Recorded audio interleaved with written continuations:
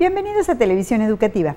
Qué bueno que usted está con nosotros en esta cita semanal que tenemos cada ocho días.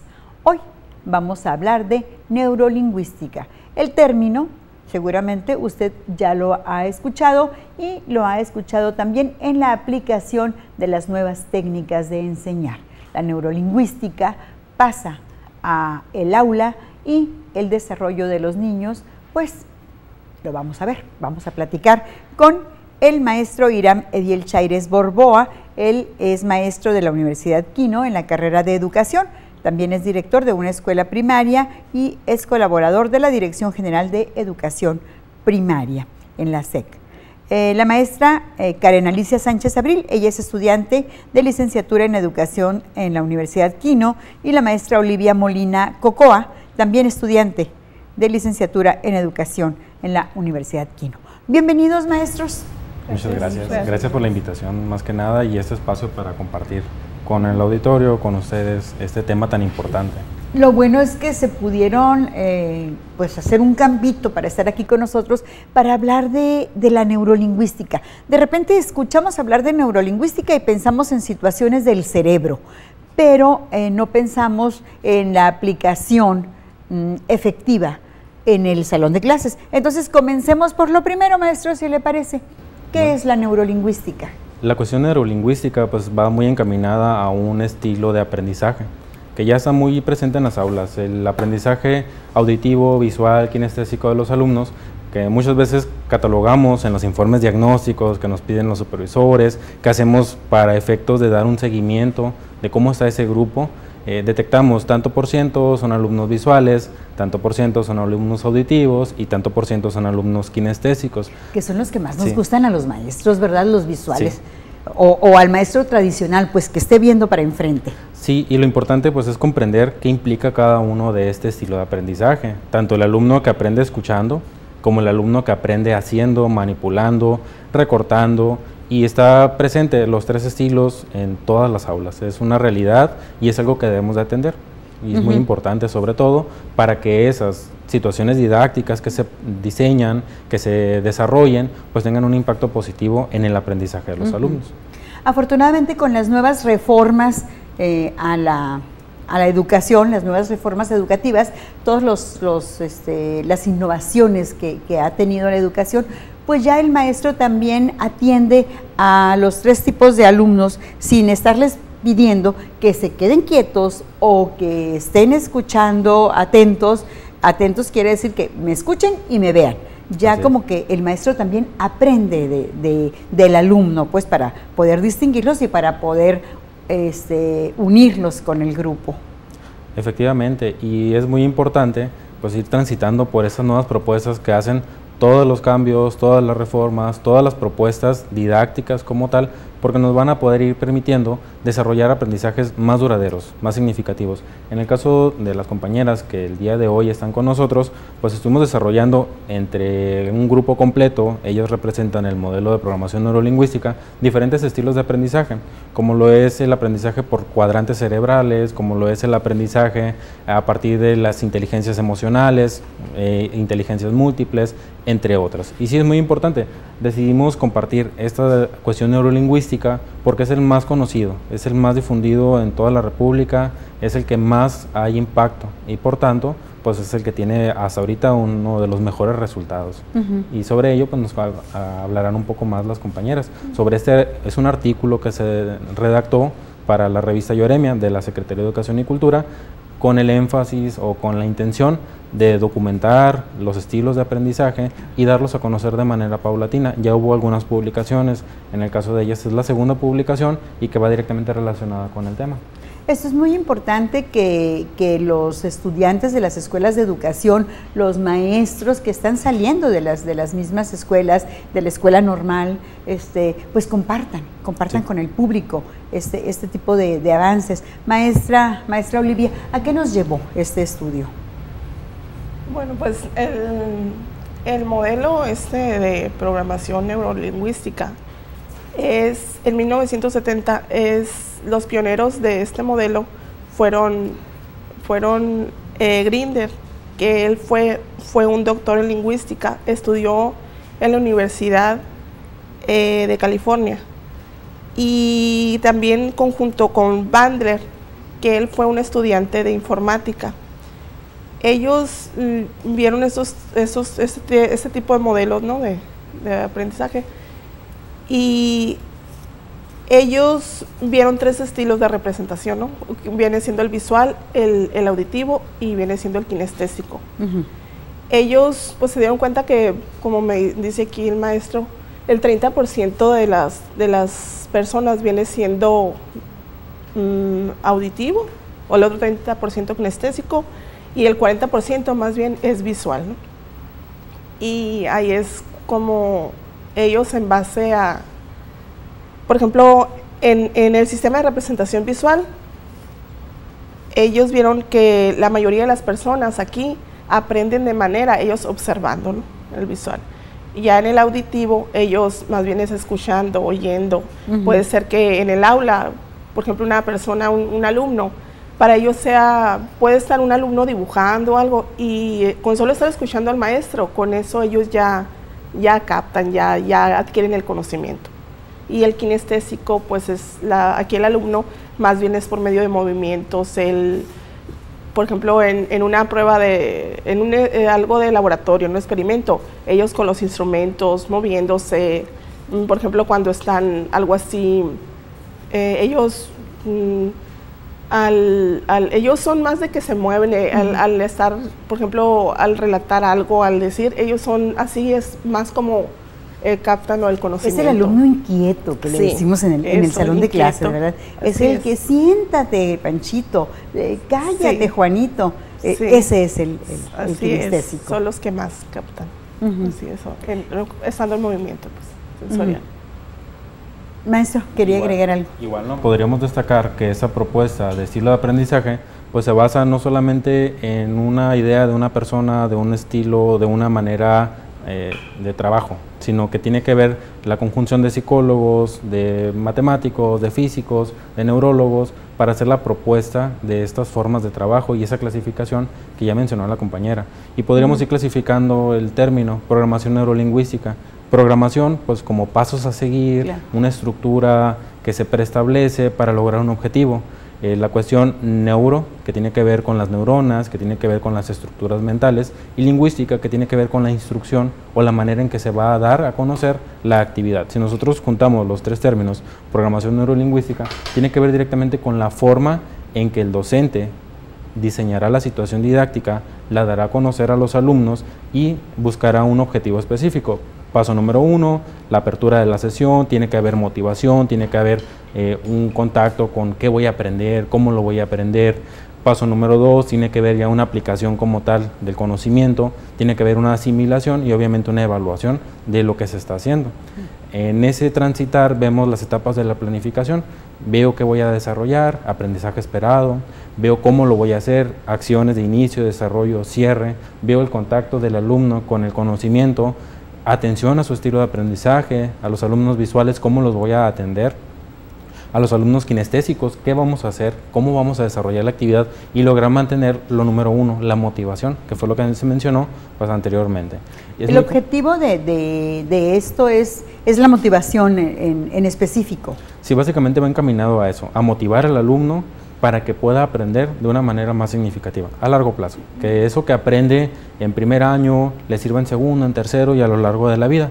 Mm, tendríamos que ver qué significa aprendizaje, qué significa enseñanza y nos estaríamos remontando a temas que tienen que ver directamente con didáctica, con pedagogía como tal y que obviamente pues se ven reflejados en el aula.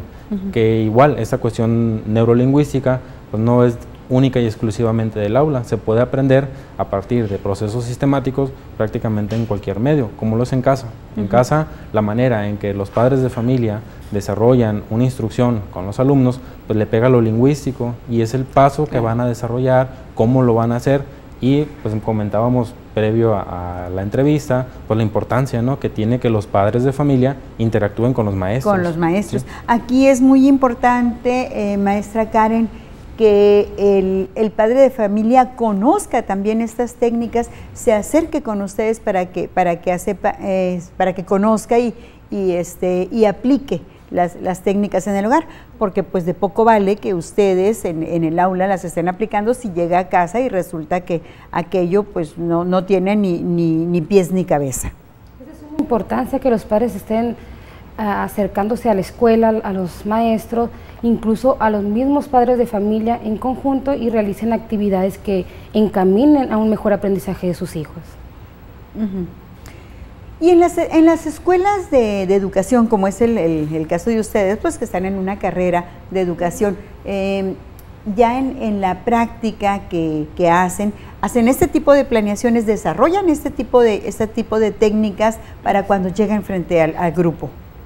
Sí, de hecho, lo que es en la carrera se lleva paso a paso lo que son planificaciones, estrategias, para en conjunto ya llevarlas a cabo frente al aula sea, tomando en cuenta estrategias de aprendizaje, materiales didácticos, entre otras.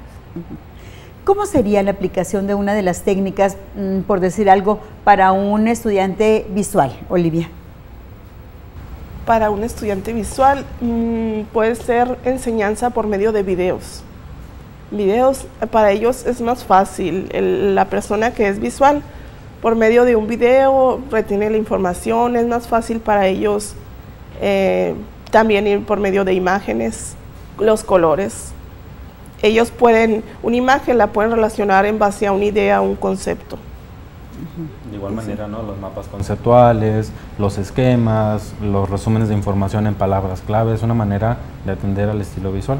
Referente a la pregunta que le hacía la compañera, pues desarrollamos a lo largo de las secuencias y de las sesiones de trabajo en la misma carrera situaciones didácticas las cuales ellos mismos evalúan observan, aquí no atendiste al estilo tal, aquí sí se atendió de esta manera, las ponen en práctica, observan clases, o en este caso a partir de videos, evalúan a partir de fichas, de instrumentos, de listas de cotejo, qué situaciones se atendieron, cómo trabajó el maestro fulanito del tal escuela, tal actividad, que cabe destacar, pues son videos que están disponibles en redes sociales, en YouTube, entre otras, mismos que aprovechamos como un recurso didáctico.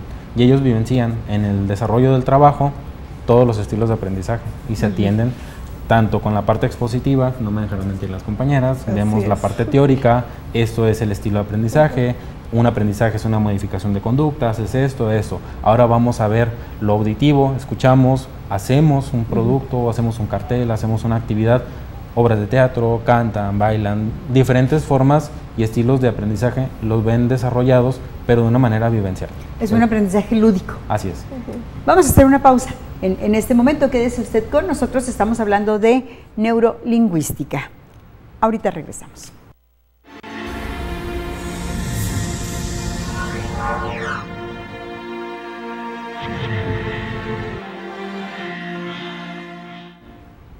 Estamos en televisión educativa hablando de neurolingüística. Entonces, el término, comentábamos al, principio, se empieza a manejar a partir de los, de los 70, ya como se empieza a estudiar más bien y se reconoce qué es la neurolingüística. ¿Estamos bien? Sí, y se va difundiendo a lo largo de la República Mexicana, a lo largo del continente, y se van apropiando los compañeros, compañeras docentes de esta forma de trabajo. Y obviamente lo formalizan a partir de los planes y programas de estudio, le empiezan a dar más difusión.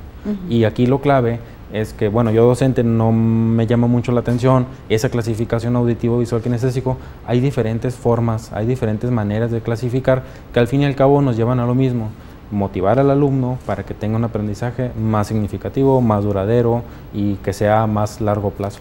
entre otras cuestiones. Estamos catalogando a tres tipos de alumnos nada más, pero, pero hay otros, otros tipos. Entonces, ¿por qué nada más estos tres? Porque son los más difundidos. A nivel, hablamos de Sonora propiamente, me ha tocado dar acompañamiento en algunas escuelas, visitar aulas, eh, hablar propiamente del programa de estudio y ahí lo menciona muy bien cómo clasificar a los alumnos de acuerdo a su estilo de aprendizaje.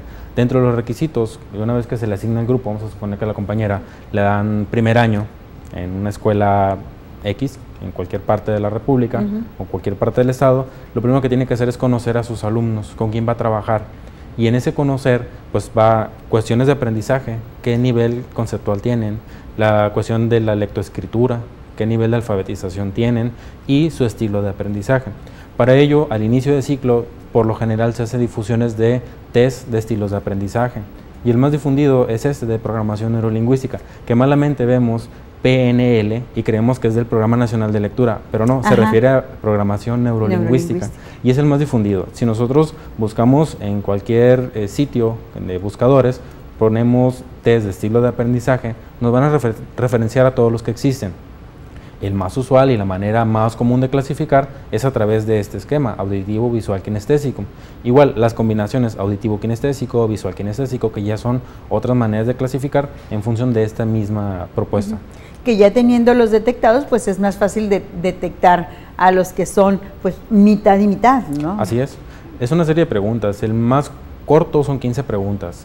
Yo aprendo más cuando mi maestro me expone un tema, yo aprendo más cuando veo un video, yo aprendo más cuando hago una maqueta. Y ya los niños van seleccionando. Incluso están adaptados con dibujos para primer y segundo grado.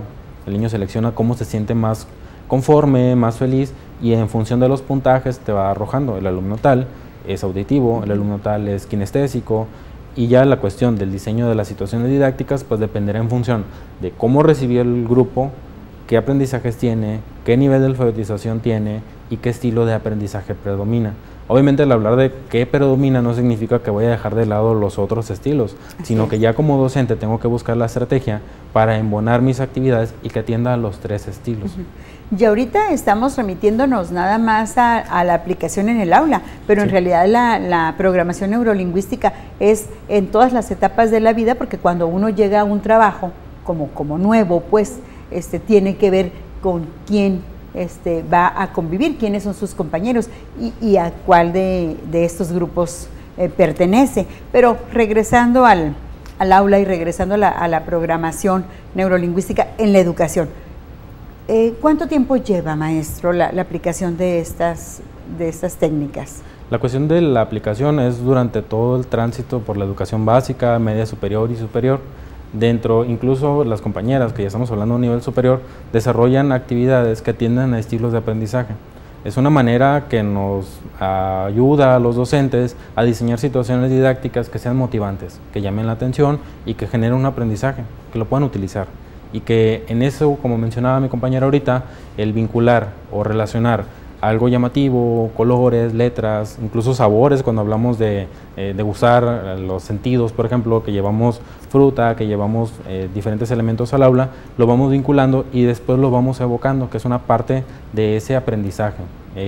es muy importante mencionar que ya como docente, pues sí ocupamos una dosificación de las actividades, una clasificación en inicio, desarrollo, cierre, qué voy a hacer cuando lo recibo, una actividad detonante, recuperar conocimiento previo, desarrollar una actividad de contacto con el contenido, tengo que reforzar ese contenido, tengo que evaluar y tomar una decisión, que es un proceso cíclico.